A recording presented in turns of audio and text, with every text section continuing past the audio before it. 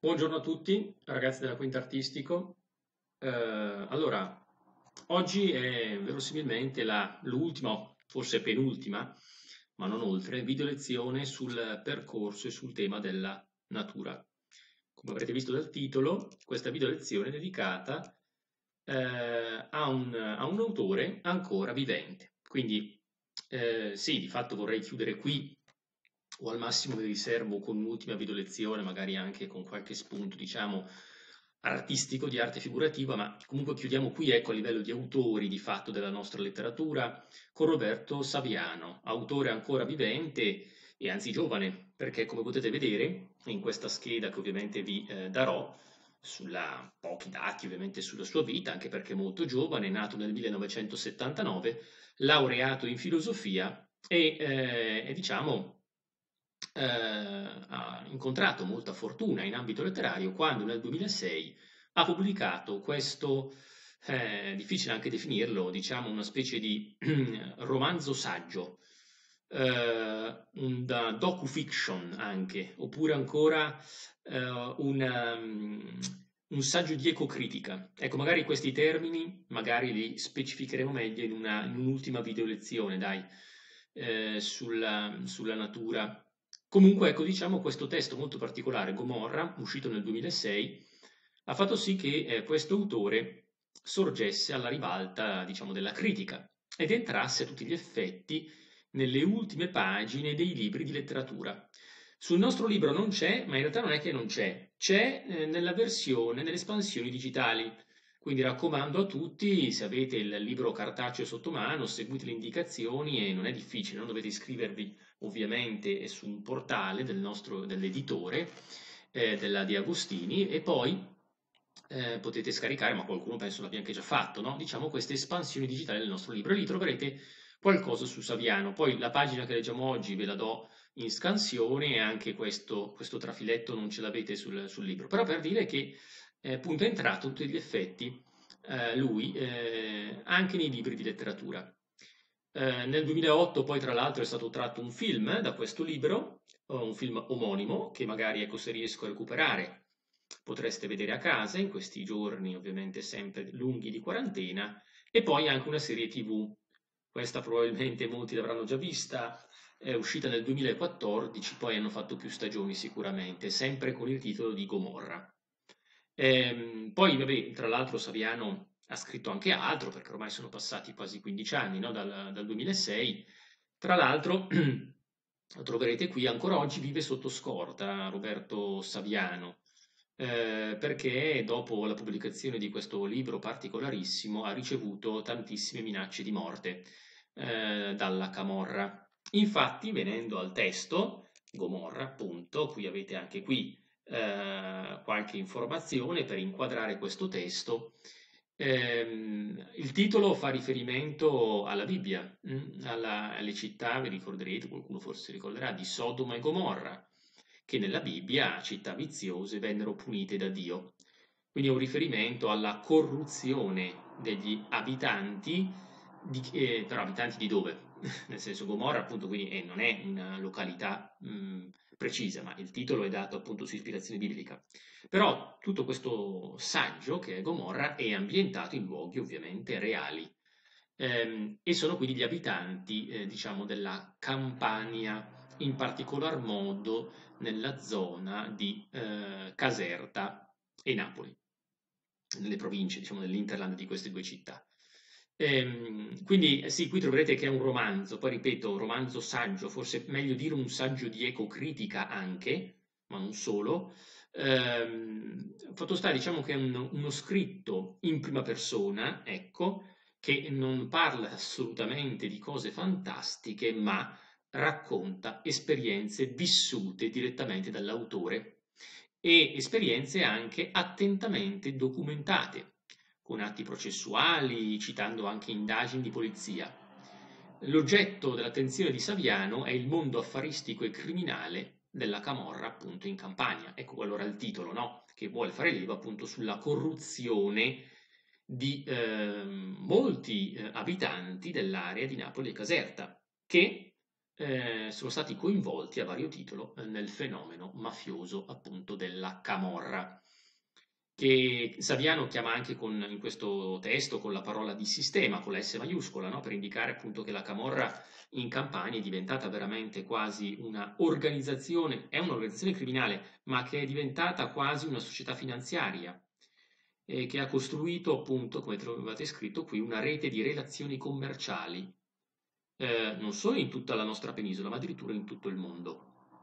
Ecco, il genere letterario appunto abbiamo detto un saggio di ecocritica, anche una docufiction, eh, cioè romanzo, mm, se utilizziamo la parola romanzo, eh, attenzione perché il romanzo alla fine per, mm, è la parola stessa, no, per noi ha la componente comunque di fantasia.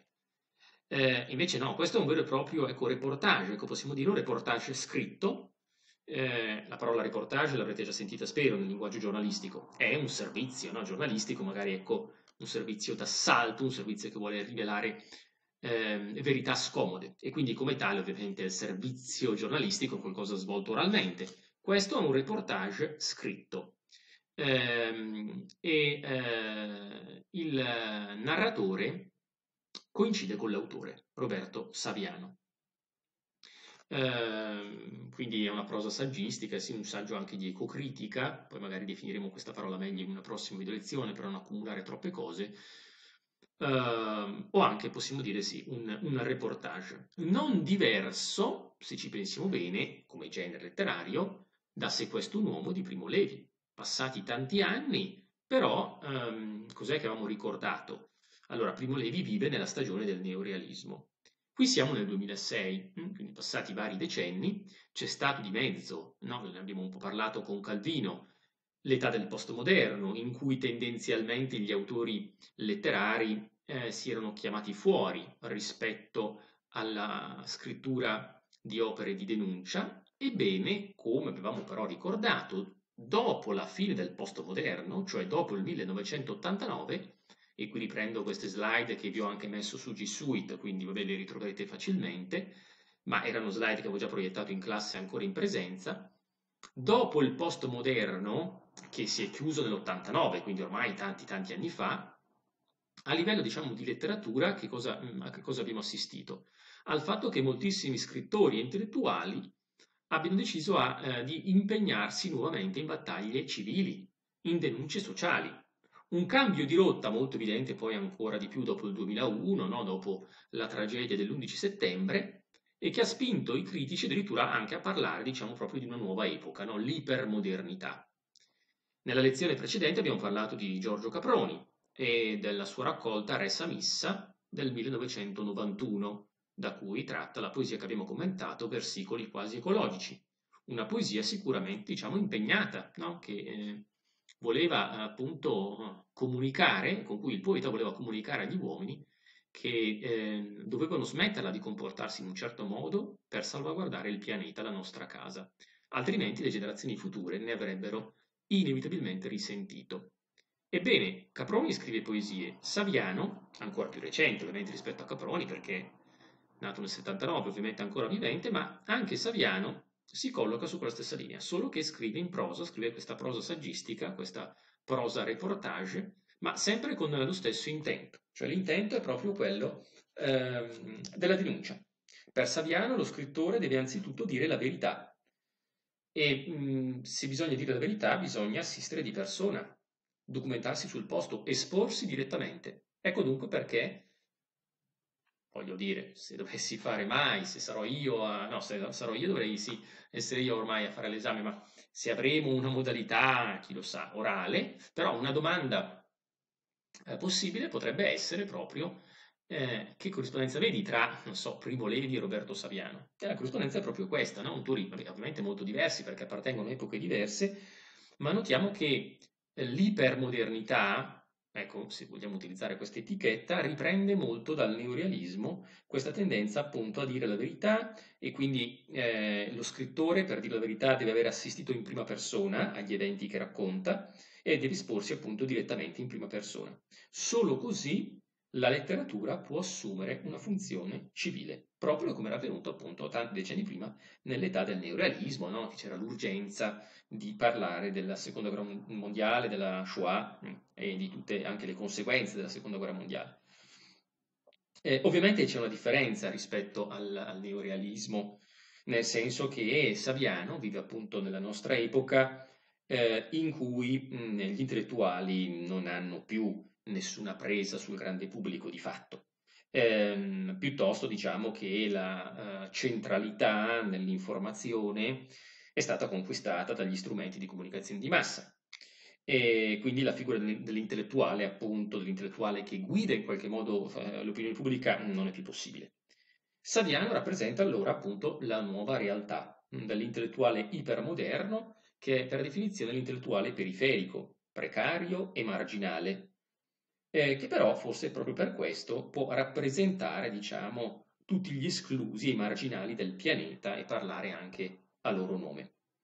Eh, in questo testo che adesso andiamo a leggere, che tra l'altro ecco, è tratto, sono proprio le ultime pagine con cui si chiude Gomorra, eh, abbiamo detto che appunto è una prosa saggistica in cui eh, l'autore si rappresenta autobiograf- autobiograf- eh, autobiograficamente nella realtà di un ricercatore precario, ecco, che si reca sui luoghi del crimine nel napoletano e nel casertano. Eh, le pagine che appunto chiudono eh, Gomorra, eh, le leggiamo ora, ehm, siamo nella terra dei fuochi. Quindi l'inchiesta di Saviano, in questo libro, si chiude tra gigantesche discariche di rifiuti la Terra dei Fuochi adesso, eh, allora innanzitutto diciamo che la Terra dei Fuochi corrisponde alle campagne campane intorno a Casal di Principe, quindi in provincia di Caserta, eh, e mh, mm, capiremo perché questa terra oggi viene così chiamata Terra dei Fuochi. Potete già immaginarlo. Comunque, ehm, diciamo che il, il, il, testo, quindi Gomorra, si chiude ecco, tra queste discariche enormi di rifiuti Ehm, le immagini di una discarica, di una voragine, di una cava divengono sempre più sinonimi concreti e visibili di pericolosità mortale per chi ci vive intorno. Quando le discariche stanno per esaurirsi, si dà fuoco ai rifiuti. Ecco allora perché terra dei fuochi. C'è un territorio nel napoletano che ormai è definito la terra dei fuochi. Eh, quindi all'inizio eh, della, di questa sequenza, eh, no, conclusiva del, di, il, di, tutta l'opera, eh, Saviano descrive, adesso descriverà quindi il funzionamento di una discarica abusiva in questa terra di fuochi. I rifiuti vengono accumulati mh, mm, per essere bruciati. E perché? Per ridurre il volume di questi rifiuti, in modo tale da poter accumularne degli altri. Ma è ovvio, e adesso lo dirà, qual è la conseguenza di questo gesto scriteriato. Quindi tra i fuochi abbiamo capito il motivo. Il triangolo Giuliano, Villaricca, Quagliano. Appunto siamo in un'area proprio tra le province di Napoli e Caserta. 39 discariche, di cui 27 con rifiuti pericolosi. Un territorio in cui aumentano del 30% all'anno. La tecnica è collaudata e viene messa in pratica a ritmo costante. I più bravi a organizzare i fuochi sono i ragazzini rom. I clan gli danno 50 euro a cumulo bruciato. La tecnica è semplice circoscrivono ogni enorme cumulo di rifiuti con i nastri delle bobine di videocassette, poi gettano alcol e benzina su tutti i rifiuti e, facendo dei nastri una miccia enorme, si allontanano. Con un accendino danno fuoco al nastro e tutto in pochi secondi diviene una foresta di fuoco, come avessero sganciato bombe al napalm. Ecco per chi, per chi non lo sapesse, in nota, il napalm è una materia altamente infiammabile che era stata utilizzata tra l'altro anche per produrre le bombe ai tempi della guerra del Vietnam negli anni 70 da parte degli americani. Dentro al fuoco gettano resti delle fonderie, colle e morchie di nafta. Fumo nerissimo e fuoco contaminano di diossina ogni centimetro di terra. Ecco, è chiaro che questo gesto scriteriato di dare fuoco ai rifiuti tossici per ridurne il volume, quindi per accumularne eh, altri, ha delle conseguenze nefaste nell'ambiente e per, in particolar modo per l'inquinamento atmosferico. È la produzione di una sostanza altamente cancerogena che è la diossina. Ehm, È ovvio che questo brano quindi già ci fa riflettere, no? Più che altro sul discorso dell'inquinamento atmosferico dell'aria e anche sul discorso dello smaltimento dei rifiuti, perché questi rifiuti, anche se Saviano lo dice esplicitamente, sono ovviamente rifiuti industriali, ad esempio delle aziende farmaceutiche e delle aziende chimiche, che si possono smaltire ovviamente in modo legale, che non è questo, ma è, la procedura è molto costosa. E quindi molti imprenditori ricorrono all'illegalità e nelle terre del sud Italia ricorrono alla Camorra, questa grande organizzazione criminale, per smaltire in modo illegale, ma in modo illecito, in modo anche molto pericoloso per la salute pubblica, questi rifiuti. Altra conseguenza, vabbè, la prima conseguenza, quindi comunque già gravissima, appunto, eh, la produzione di diossina. L'agricoltura di questi luoghi, che esportava verdura e frutta fino in Scandinavia, crolla a picco. Conseguenza anche, diciamo, sull'economia di quei luoghi. I frutti spuntano malati, le terre divengono infertili. Per non parlare conseguenze economiche, eh, che poi comunque hanno sempre ricadute in, in termini di conseguenze personali, se questi frutti e questa verdura vengono comunque consumate. Eh, perché senza accorgersene, ecco, eh, senza che ce ne accorgiamo, possiamo eh, ingoiare e assimilare cibi che in realtà sono altamente inquinati. Ma la rabbia dei contadini e lo sfacelo diventa un ennesimo elemento di vantaggio, poiché i proprietari terrieri disperati svendono le proprie coltivazioni e i clan acquistano nuove terre, nuove discariche a basso, bassissimo costo. Intanto si crepa di tumore continuamente, un massacro silenzioso, lento, difficile da monitorare, po- poiché c'è un esodo verso gli ospedali del nord per quelli che cercano di vivere il più possibile. Eh, vedete quante riflessioni eh, qui che si aprono, adesso non devo neanche esagerare, qui c'è addirittura una riflessione Saviano fa sulla sanità, eh, sul sistema sanitario nazionale che ha delle sue discrasie all'interno, cioè è evidente che e più o meno lo stiamo vedendo in questi giorni, che il sistema sanitario al nord Italia funziona nettamente meglio di quanto succede al sud e quindi ehm, c'è sistematicamente l'esodo di persone che eh, al sud magari si ammalano e cercano di trasferirsi al nord per essere curati e vivere il più lungo possibile. L'Istituto Superiore di Sanità, mh, hm, oggi eh, lo sentiamo nominare purtroppo tutti i giorni con questa emergenza, ha segnalato che la mortalità per cancro in Campania, nelle città dei grandi smaltimenti di rifiuti tossici, è aumentata negli ultimi anni del 21%. Ecco, vedete che ehm, questo testo ehm, è un, appunto un reportage e anche argomentativo, no? eh, cioè eh, Saviano non espone soltanto così eh, delle idee un po' campate in aria, ma poi cerca sempre, le sue idee cerca sempre di argomentarle con delle statistiche, con dei dati eh, che vadano a corroborare le sue idee. In questo caso cita appunto una uh, statistica dell'Istituto Superiore di Sanità. Bronchi che marciscono, trachee che iniziano ad arrossarsi e poi l'attacco in ospedale e le macchie nere che denunciano il tumore. Chiedendo il luogo di provenienza dei malati campani, spesso viene fuori l'intero percorso dei rifiuti tossici. Ehm, come capiremo meglio anche poi dalle pagine seguenti, ma già qui abbiamo capito anche eh, un'altra cosa in merito a questo meccanismo perverso e chiaramente illecito. Eh, quando appunto si parlava del fatto che i contadini ecco, sono arrabbiati perché vedono spuntare della frutta e verdura che poi non possono vendere eh, perché non rispetta chiaramente dei criteri di, eh, di igiene.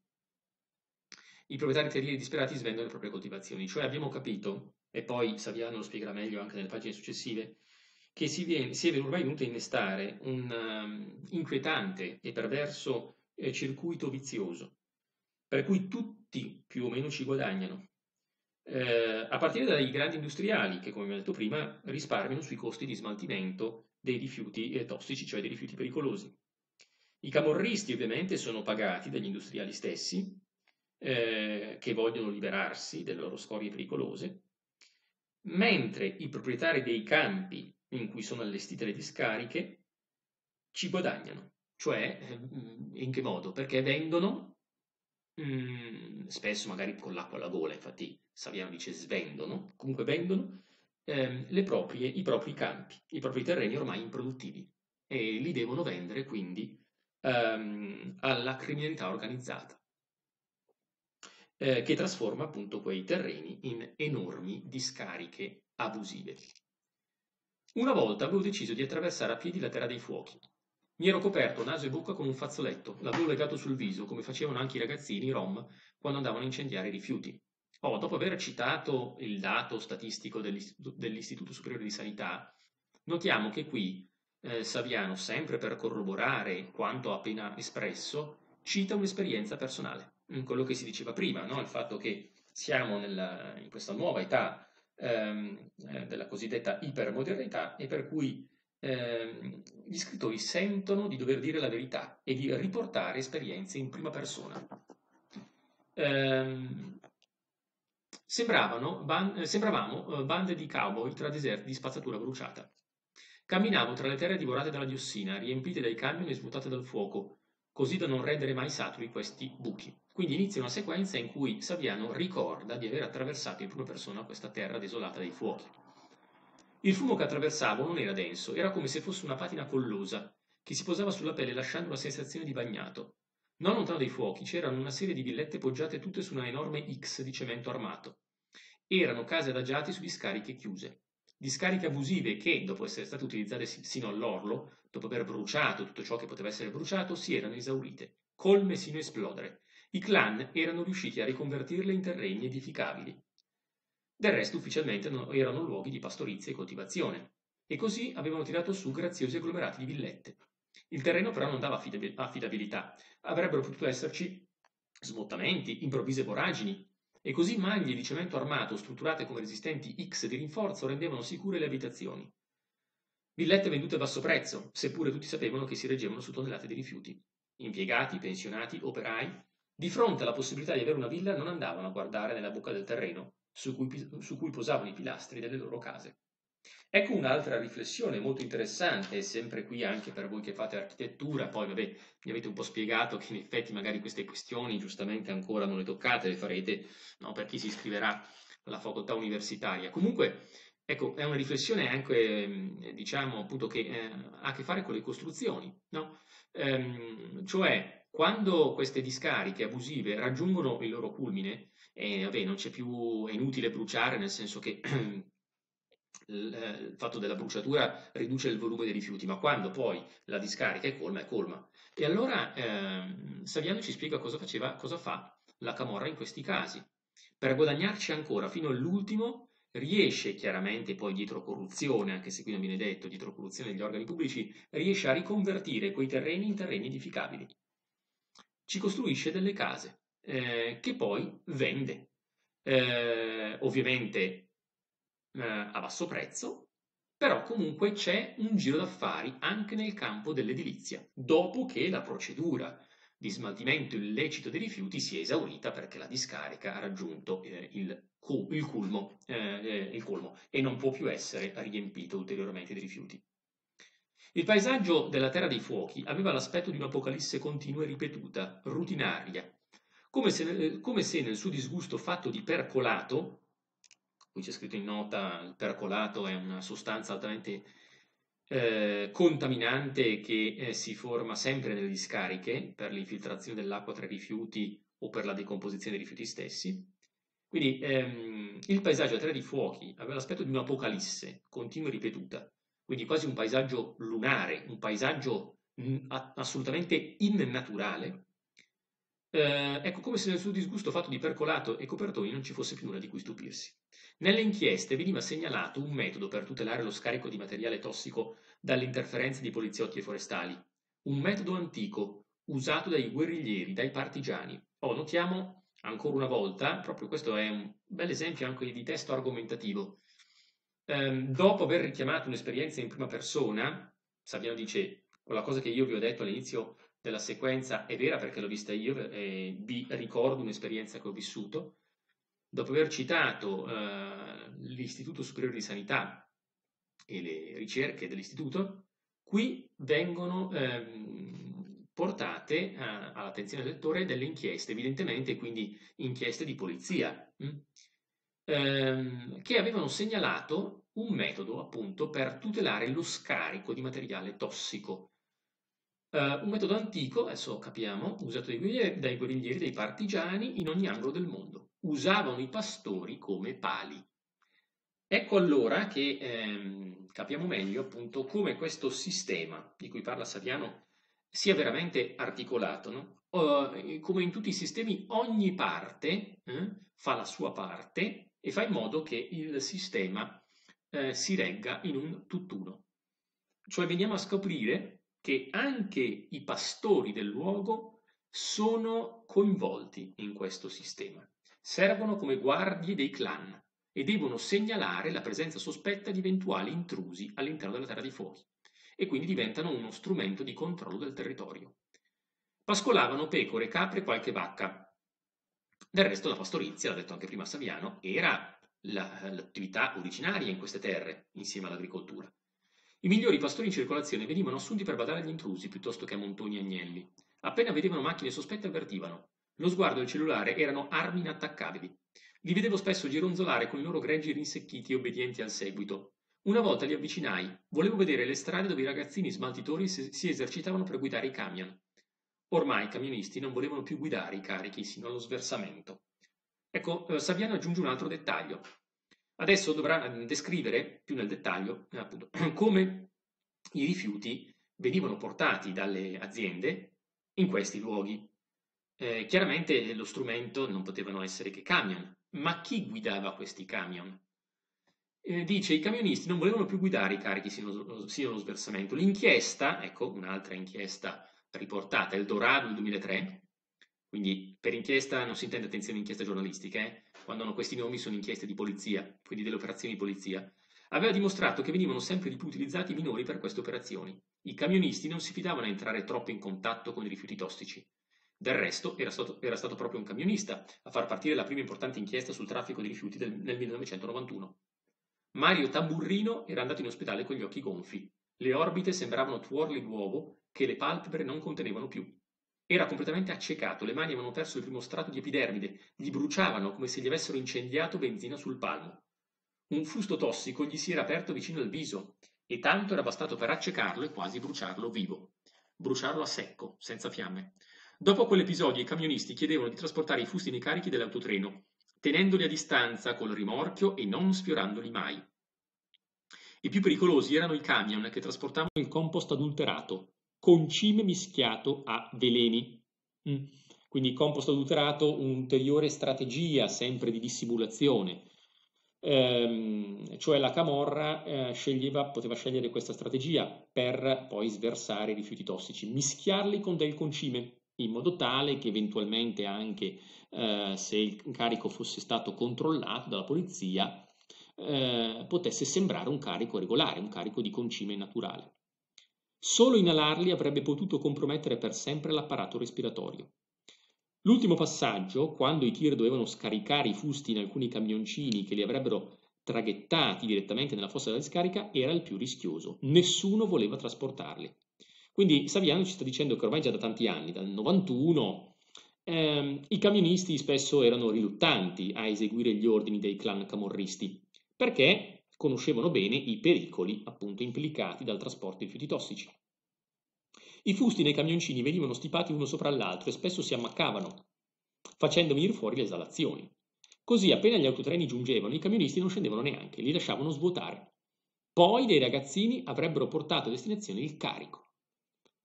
Quindi eh, notiamo veramente appunto questo sistema tentacolare della mafia camorristica si avvale addirittura all'inizio della pagina, vi ricordate, aveva citato i Rom, eh, che erano proprio coloro che alla fine eh, di tutto il processo davano fuoco utilizzando le pellicole di vecchie videocassette come micce.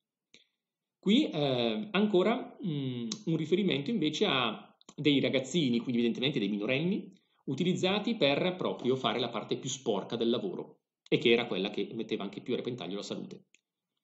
Un pastore mi indicò una strada in discesa dove si esercitavano a guidare prima dell'arrivo del carico.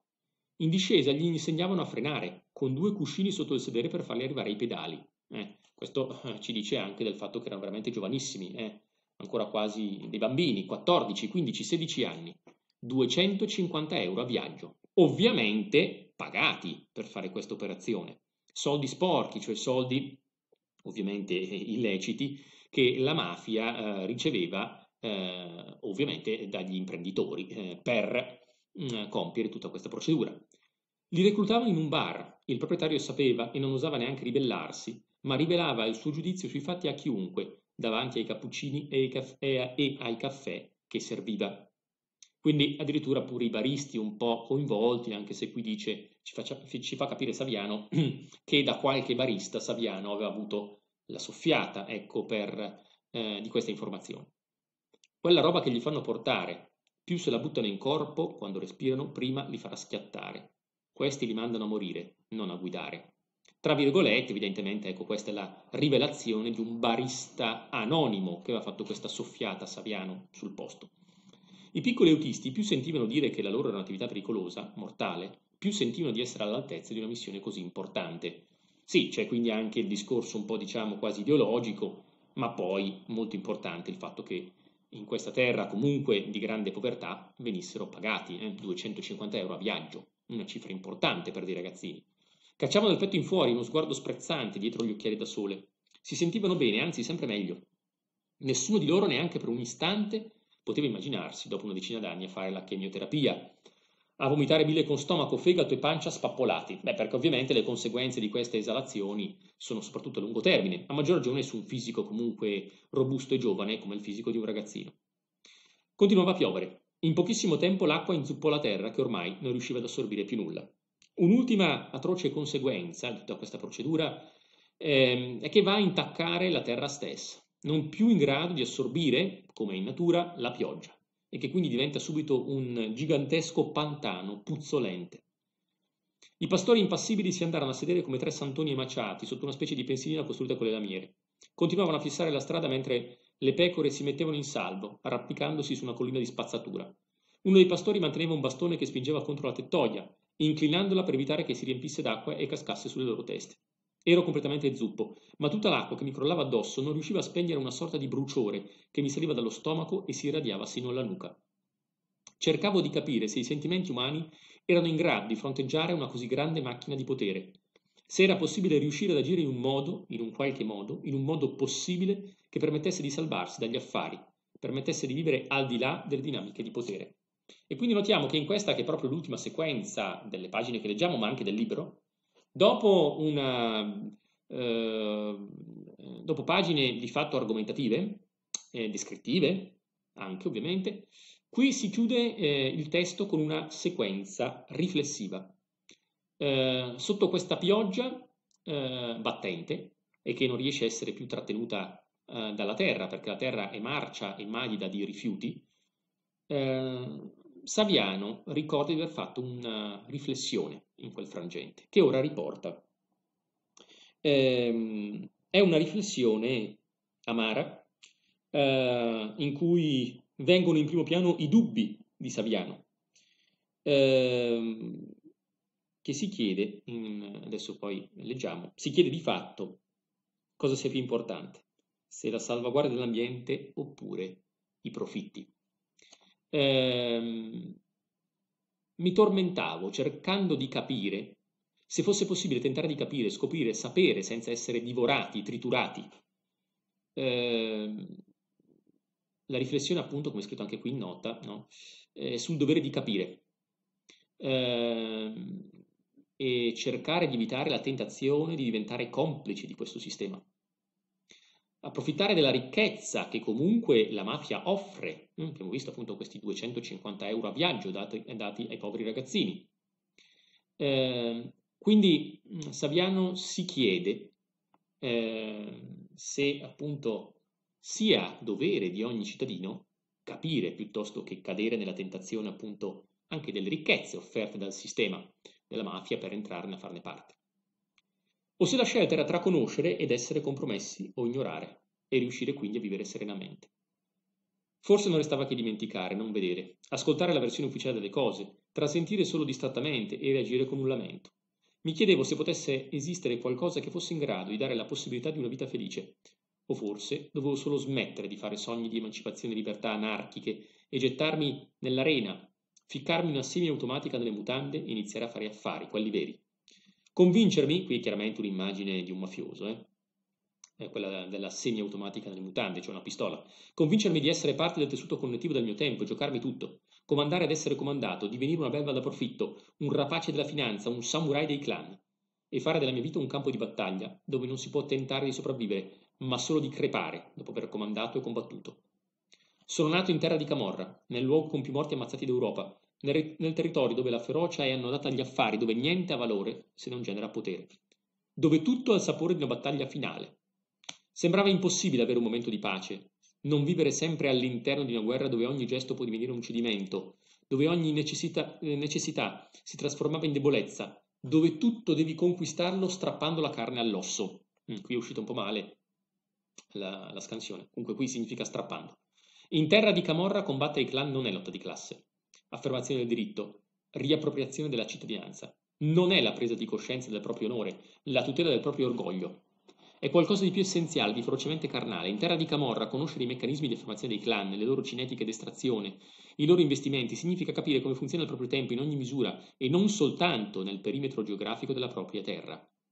Porsi contro i clan diviene una guerra per la sopravvivenza, come se l'esistenza stessa, il cibo che mangi, le labbra che baci, la musica che ascolti, le pagine che leggi non riuscissero a concederti il senso della vita, ma solo quello della sopravvivenza. E così conoscere non è più una traccia di impegno morale. Sapere, capire diviene una necessità, l'unica possibile per considerarsi ancora uomini degni di respirare. Quindi, dopo eh, diciamo, aver esposto tutti i propri dubbi, che riguardano anche le sue scelte di vita, no? la sua ostinata posizione alla camorra e alle devastazioni che essa impone nelle terre desolate sotto il suo controllo, alla fine eh, Saviano giunge a questa conclusione. La conclusione ovviamente è che non bisogna mai mh, scendere a patti con la mafia. Sembra quasi che Saviano in qualche modo forse comprenda chi lo fa, soprattutto per questioni di povertà. Mh? Però eh, dice eh, alla fine di questo capoverso, eh, bisogna sapere, bisogna capire. Eh, non bisogna, cioè, eh, farsi trascinare dal sistema. Bisogna capire come funziona. Eh, capire è l'unica strada possibile per considerarsi ancora uomini degni di respirare.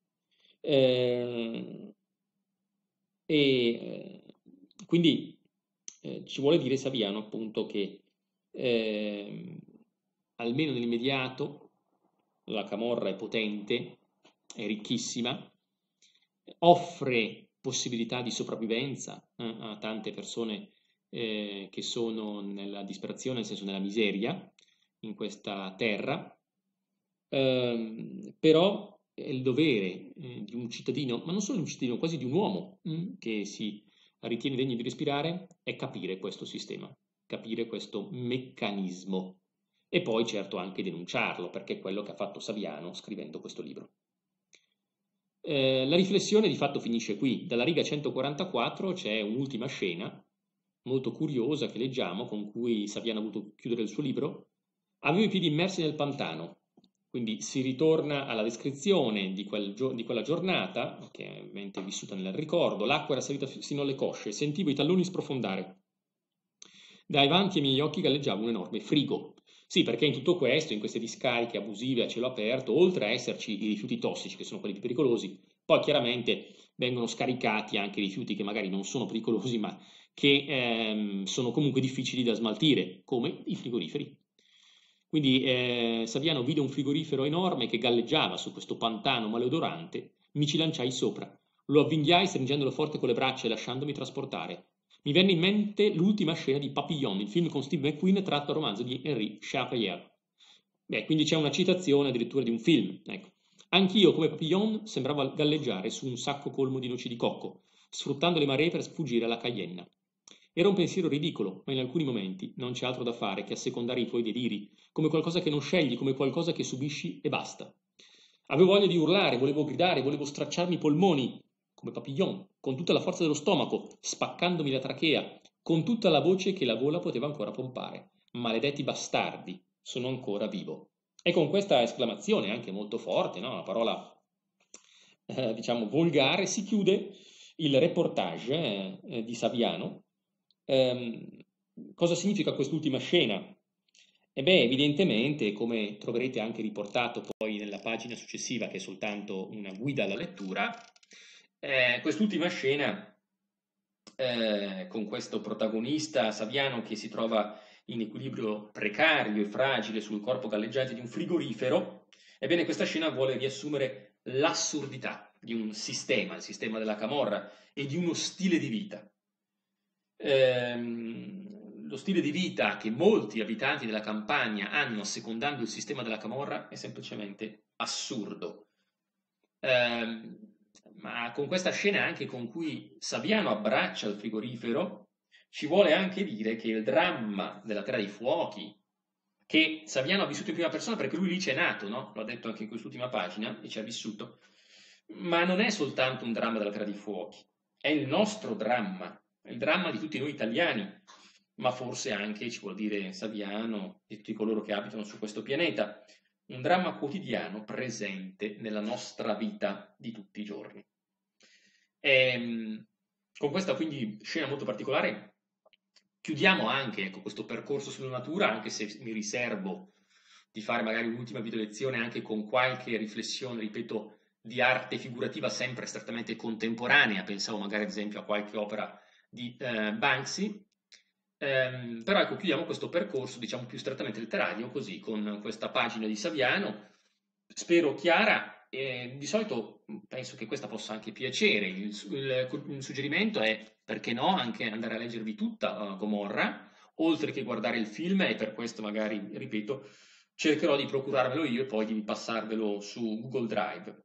Eh, è chiaro che questa riflessione quindi si lega al tema della natura, nel senso che è una pagina di appunto ecocritica, di coscienza ecologica, ehm, ma in cui si innestano tante altre riflessioni, anche di cittadinanza, sul fatto che un vero cittadino non può, anche se è eh, stretto dalla necessità, dalla povertà, non può e non deve mai scendere a patti con un sistema come quello della mafia, che è un sistema tentacolare di ehm, criminalità diffusa. Ecco che abbiamo visto, no? si avvale di tanti pezzettini per creare appunto un unico tentacolare sistema che funziona perfettamente, ma eh, che purtroppo poi ha delle conseguenze anche sulla salute di tutti. Tra l'altro, ecco, ehm, sicuramente Saviano, nel momento in cui ricorda il fatto che i, ragazzi, i famosi ragazzini ehm, poi tra dieci anni no, aveva scritto saranno colpiti da eh, patologie tumorali, eh, quando anche ha fatto quella riflessione sulle villette costruite sopra le discariche colme di rifiuti, sta anche dicendo che di fatto ehm, la potenza di queste organizzazioni camorristiche poggia in realtà su basi ben più fragili di quanto possa sembrare. Perché appunto nell'immediato la Camorra è un sistema sicuramente potente, ricchissimo, come dimostrato in queste pagine, ma nel corso degli anni, in una prospettiva futura, il prezzo da pagare per questa ricchezza facile, dovuta a malaffari con imprenditori, è un prezzo da pagare molto alto.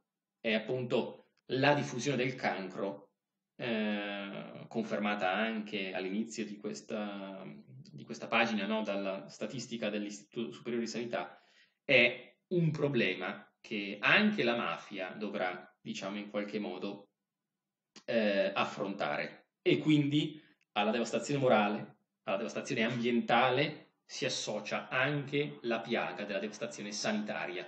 E questa, eh, volenti o nolenti, anche i mafiosi dovranno affrontarla. Bene, quindi spero sia stato tutto chiaro, poi ricordo anche che comunque ehm, giovedì alle ore 9 ci vedremo in live anche per eventuali domande. Alla prossima quindi.